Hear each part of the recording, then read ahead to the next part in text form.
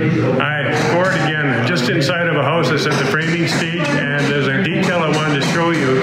Uh, we've been using web joists on our on our second floor here, and if you if you possibly can turn the camera around and catch this pipe that's running through the web joist here, that's the reason that we're using a web joist.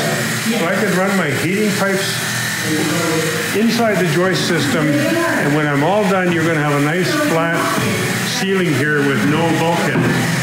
It actually gives us the opportunity to put a more efficient air distribution system in the house. So there's a little bit of a cost involved in doing web joists, but uh, as a builder, I find it gives you a superior product. That's uh, Web Joist 101 for today. Talk to you later.